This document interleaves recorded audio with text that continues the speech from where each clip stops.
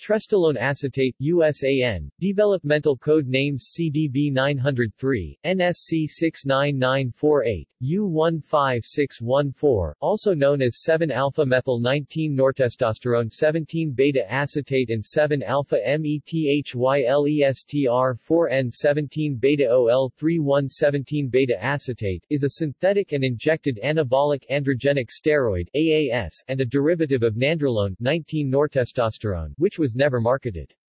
It is an androgen ester, specifically, the C17 acetate ester of trestolone, 7-alpha-methyl-19 nortestosterone, MENT.